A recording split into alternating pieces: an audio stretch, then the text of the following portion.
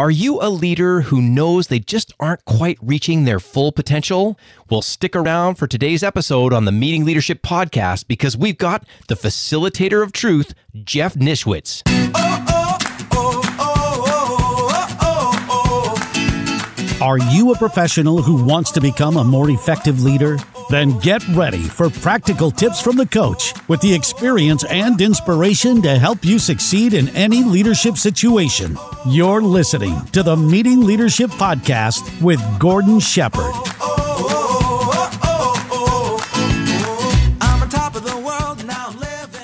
Welcome to another episode of the Meeting Leadership Podcast. My name is Gordon Shepherd. I just want to say thank you so much for being here. Thank you for being the type of leader who knows they want to tweak their game or make big, big changes. And you are trusting this podcast and the great guests and all the great ideas that are being brought forward to help you do just that. I really appreciate that you're here. And I'm also happy to let you know that this episode of the Meeting Leadership Podcast is brought to you by the Meeting Leadership Academy. Now, there you're going to find some terrific live training and online training options that you and your team can use to really kind of get some spark into your meetings, make them significantly better, and really connect every one of them directly to your organization strategy so that you can move the entire organization forward and ultimately have a stronger impact on your customers and your community. And you can learn more about that by going to meetingleadershipinc.com forward slash academy. And if you are a leader who's really looking for a way to significantly change the way that you lead, then you're going to get a lot out of today's show. That's because today we're going to talk about how to unleash your true leadership potential. And we've got a great guest on the show to do just that. His name is Jeff Nischwitz. And before I jump into some of the highlights from Jeff's bio, let me say that I've met Jeff personally, and I can tell you, if you are for just a second getting anywhere away from the truth, he's just not having any of it. He really is able to ask wonderful questions.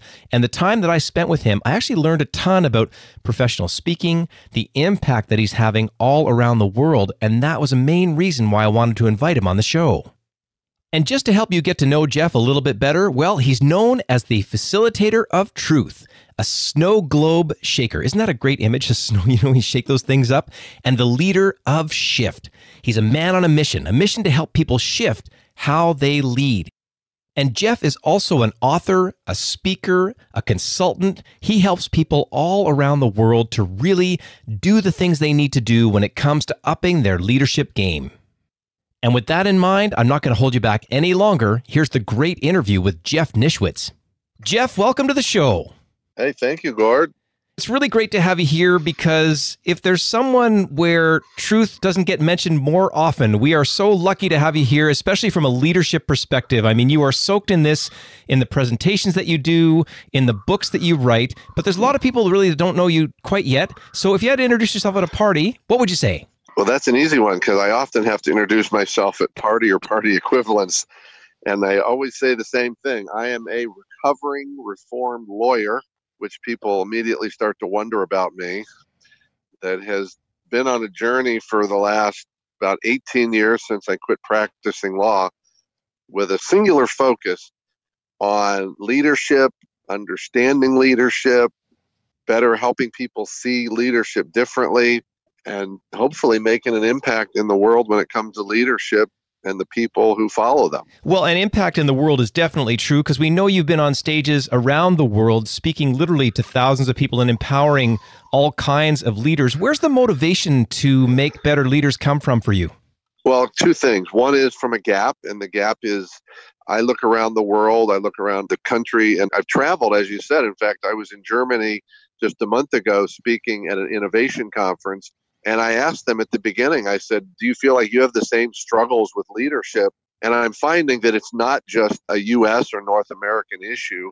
So part of it is I see this huge gap in leadership. And the people that are left in the wake of that are all the people who work with organizations that are not are lacking that leadership, that followership, someone to really follow that they can trust.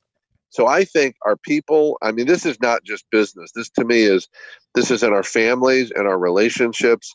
This lack of leadership is keep, keeping people from growing, people from really achieving, and ultimately having more impact in the small scale or the large scale. So I get excited, I get sometimes frustrated, which shows up as passion when I see so many people.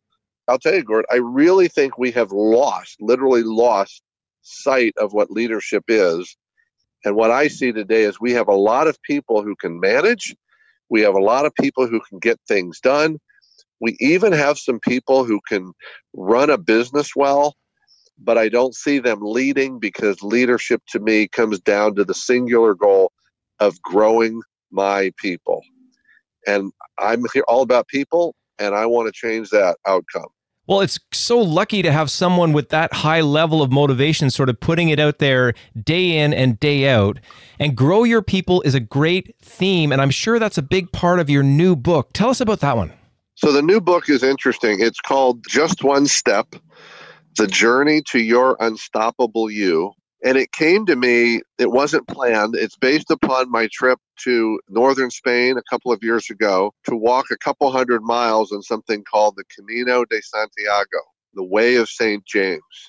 I wasn't sure what it was supposed to be. I knew it was a calling for me to take that walk.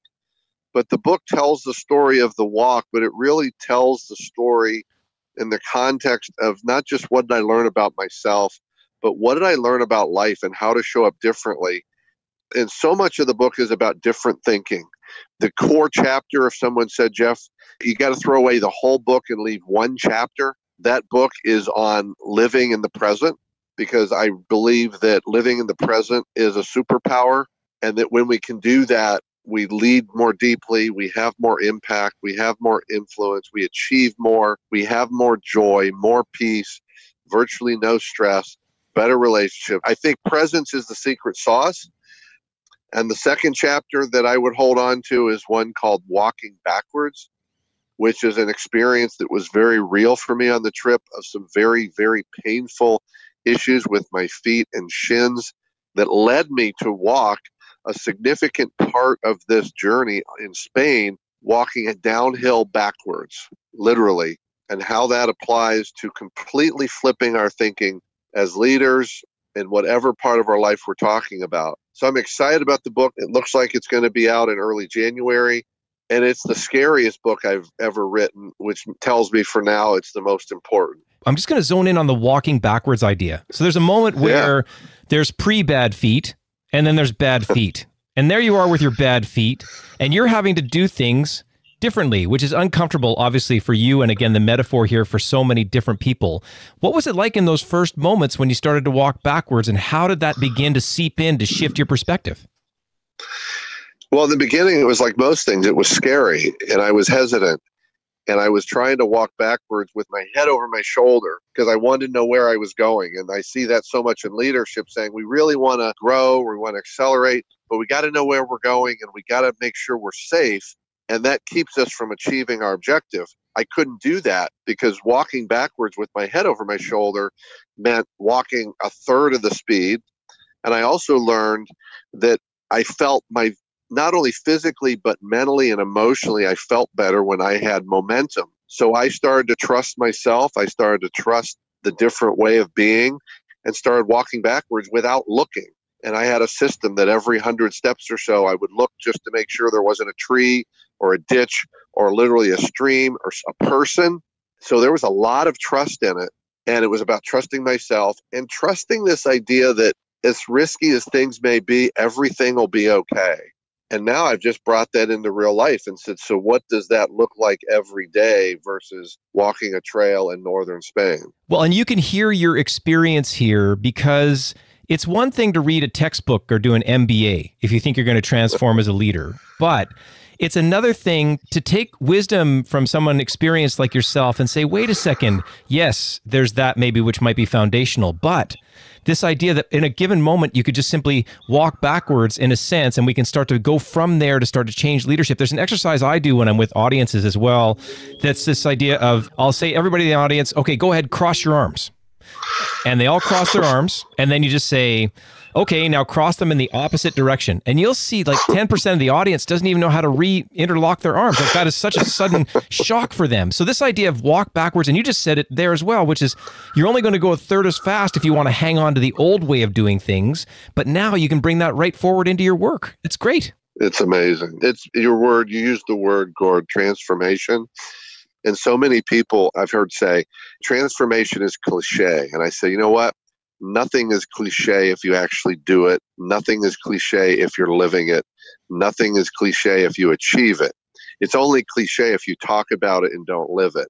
And I'm living the reality of transformation. And I see how this different thinking can transform people, organizations, leaders, families, relationships. I've seen it happen, and it just requires a fundamental shift. But it always starts, as the book title, with just one step. Just one step. And I think also what is so important about what you're saying right now is that leadership is not just at work. Oh, no. In fact, I would argue that leadership matters more away from work because this is what I believe. And my you mentioned before we got on the air, my last book or one of my other books was called Unmask, letting go of who you're supposed to be and unleashing your true leader. Because I believe who how we are as leaders is across our lives. So the kind of leader you are at home is the same kind of leader you are at work and vice versa. So there is no separation. But let's start at home because most of us, when it gets down to it, that's what we say is our top priority is our family and our relationship. But are we really making choices that way and are we leading as if our family and relationships were most important so i say let's start there and let's bring it into the workplace and change every level of the world well, this is a great, great gift. Is there something practical that you're doing, sort of like I'm going to say a multi step process or something like that, where you're with a leader and if you're with them for a short burst, something practical that our listeners can take away, again, beyond, say, the walking backwards idea, but another one of your kind of key concepts that we can, again, learn from you about how to transform our leadership? Yeah, there's two. There are two different categories. I'll just touch on them quickly. One is to, I say, I tell the leaders, let's always start and let's get right into what's the impact. And the way I frame it is a couple part question. The first is whatever was done or not done, and then say you can do this with your team members.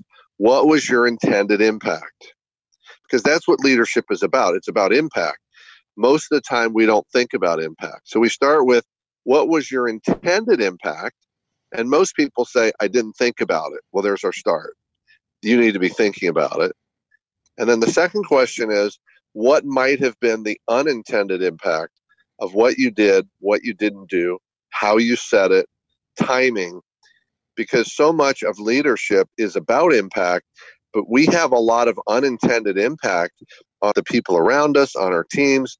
And then we want to say, oh, I didn't mean that, but it doesn't matter. We had the impact. So I try and really ingrain in leaders that their role is to create impact and that starts with them being more conscious and aware of their impact. So that's the big one. And I could end with that, but I just left a meeting with a client and I feel it's important to share this one.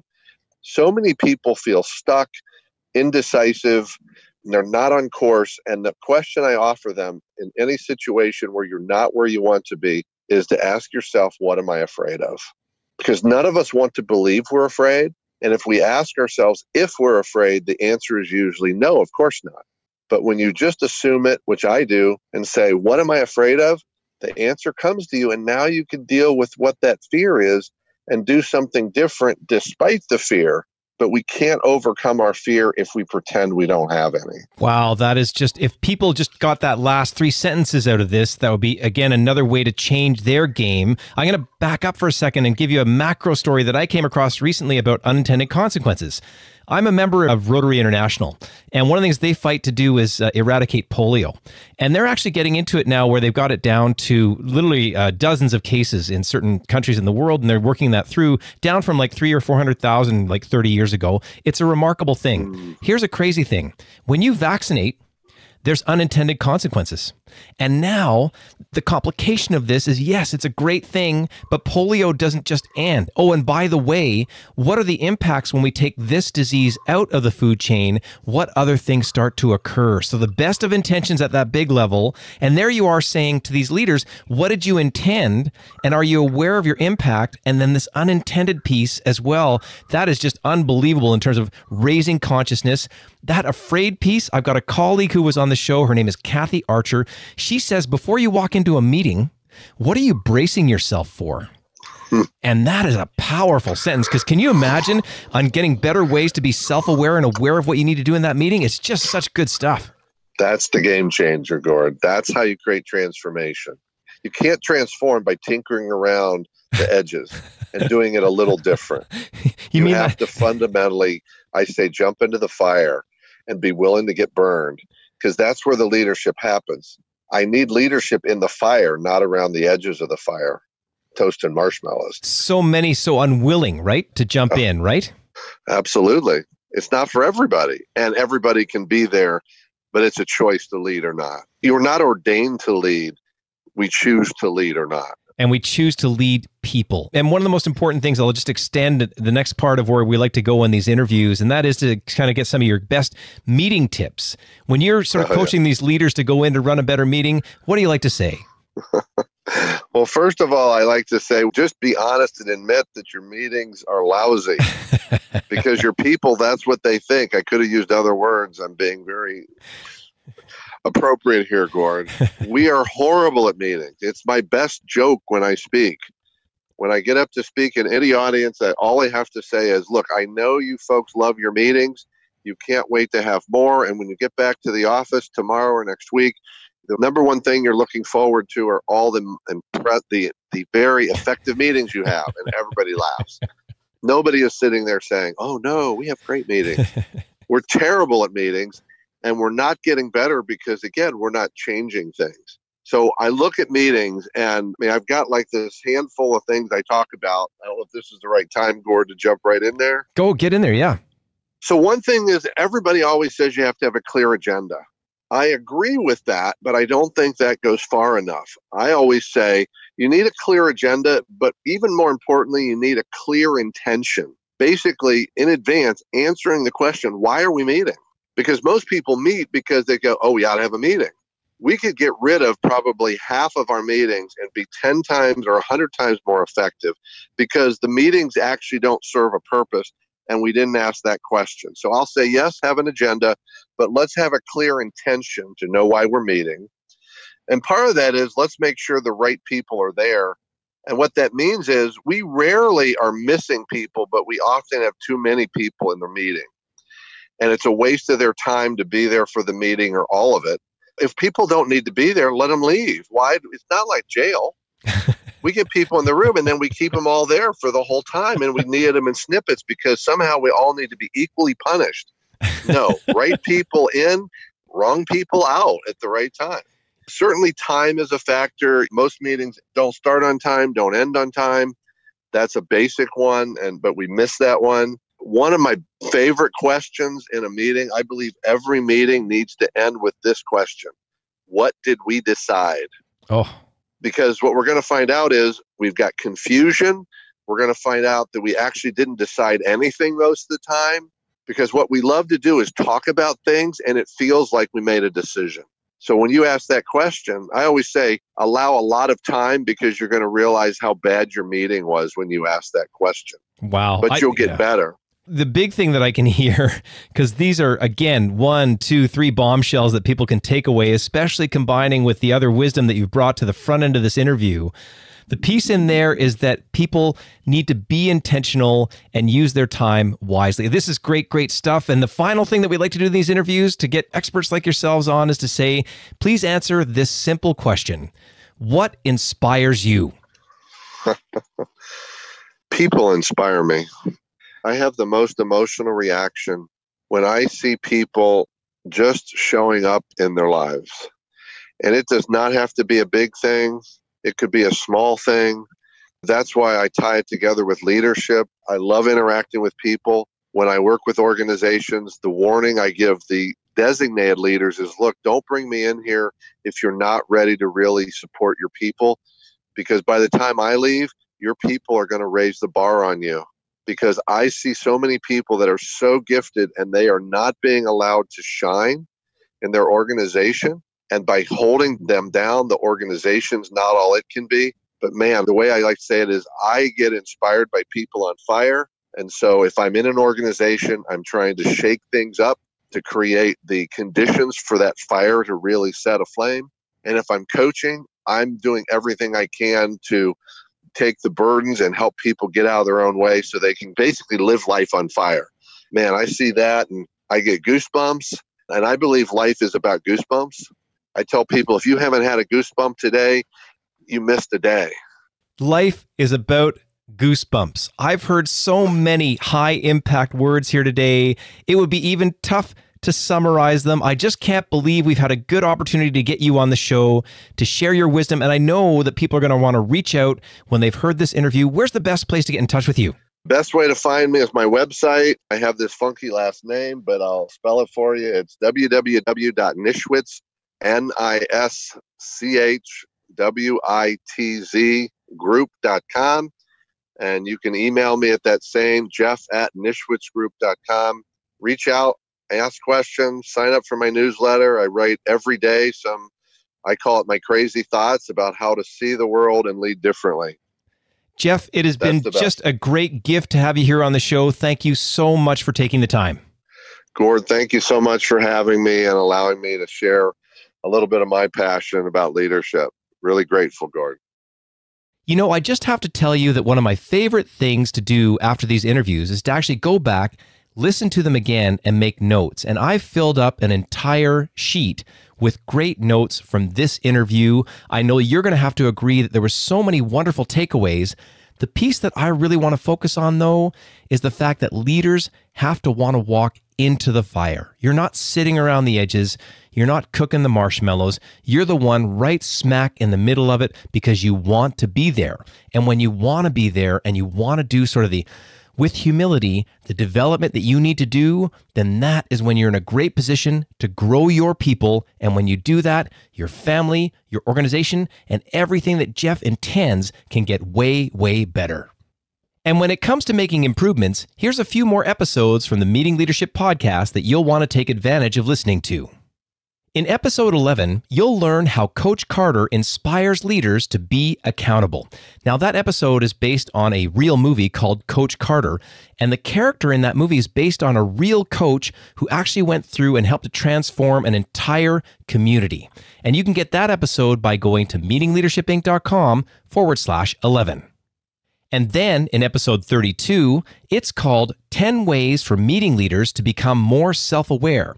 And it's the first part of a two part series. And it's one of those things where it's kind of must have if you're kind of going back to take stock of your leadership. And you can get that episode by going to meetingleadershipinc.com forward slash 32.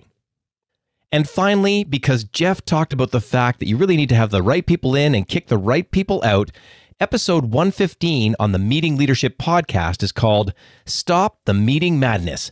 Cut out your worst meetings today. And you can get that episode by going to meetingleadershipinc.com forward slash 115. And I also want to let you know that this episode of the Meeting Leadership Podcast is brought to you by the Meeting Leadership Academy.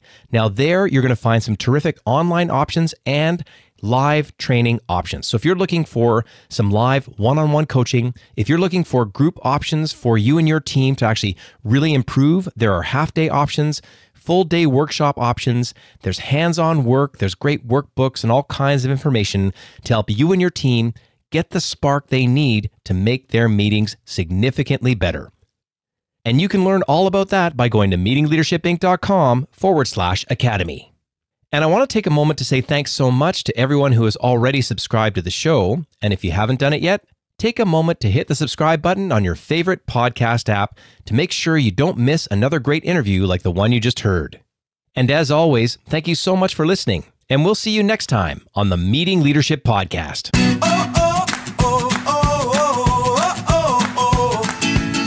Thanks for listening to the Meeting Leadership Podcast. Be sure to subscribe for more strategies to help you become an outstanding leader. And don't forget to rate and review so we can bring you even more great content. We'll see you next time, right here on the Meeting Leadership Podcast. I'm on top of the world, I'm living. And the good just gets better, keeps giving. Not even close to the end, it's just beginning.